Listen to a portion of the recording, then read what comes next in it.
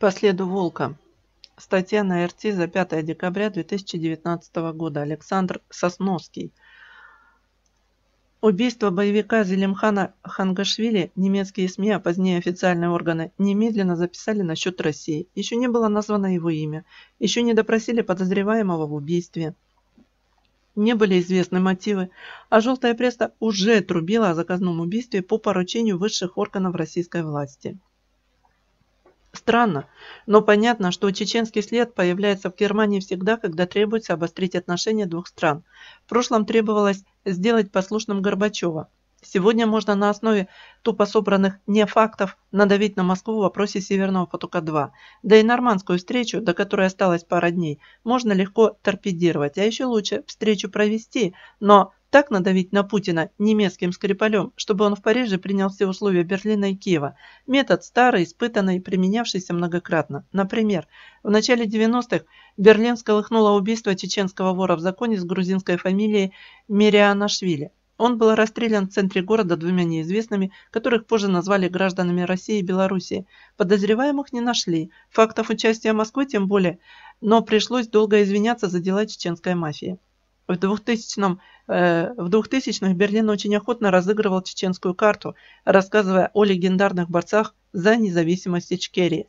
Для этого террористам из отрядов Басаева и Гелаева охотно давали вид на жительство, поддерживали финансово, Россию огульно обвиняли во всех грехах от убийства до преследования инакомыслящих в Европе.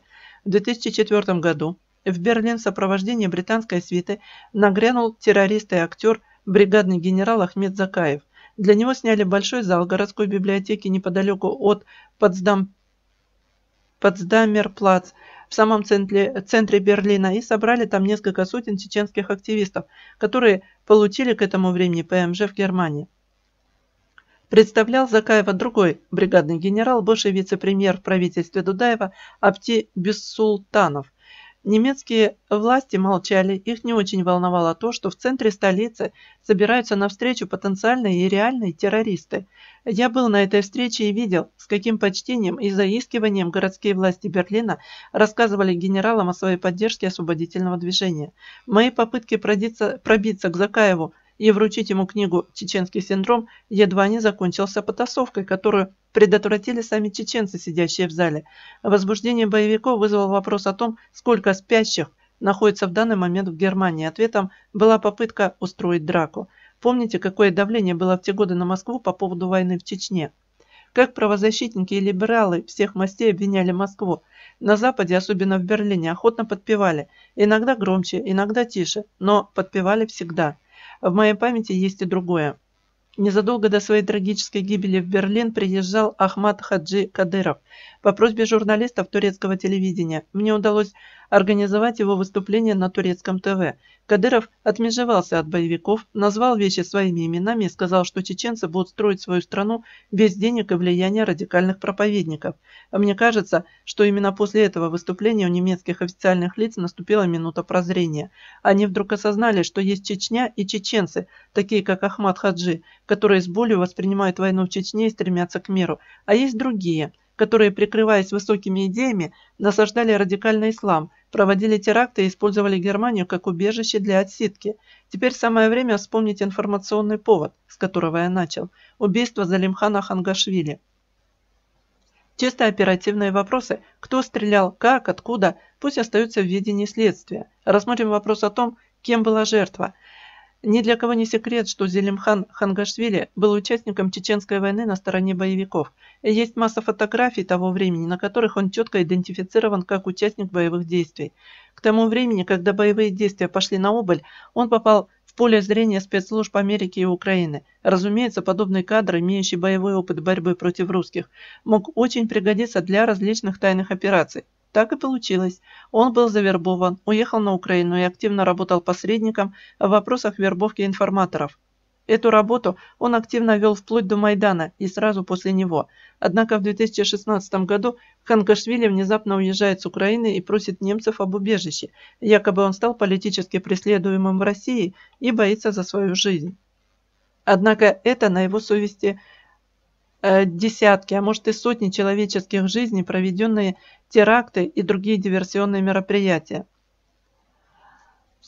Он относился однозначно к числу тех, кто представлял собой опасность для жителей Германии, но получил ПМЖ, хотя Германия нарушила при этом все свои законы.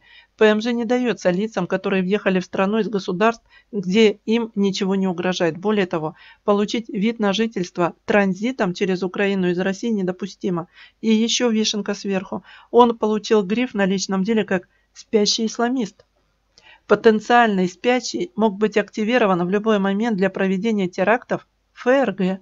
И тем не менее, его принимают, ему дают убежище. Зато когда он погибает, немецкие политики и немецкая пресса ни одним словом об этом не упоминают и немедленно находят виновного в лице России.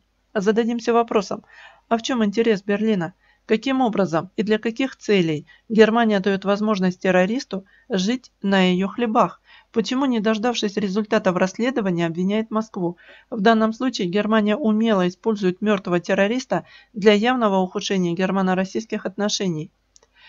Кроме одиозных признаний одиозного Беллинкет и нескольких фотографий, следствие ничего не имеет. Все обвинения строятся по принципу «мы предполагаем», Знаменитая «Highly likely» по-немецки звучит как «Vielleicht». Шума много, фактов нет. Скрипаль где-то в подземелье скромно улыбается. Ответ прост. Подобные личности всегда используются для проведения дискредитирующих операций против противника. Из них делают жертв и всю вину возлагают на тех, кого хотят скомпрометировать. Впрочем, можно посоветовать немцам, как припереть упрямых, злых и плохих русских к стенке. Найдите кота. Хотя, как гласит известная поговорка, сложно найти в темной комнате черного кота, особенно если его там нет. Александр Сосновский. По следу волка.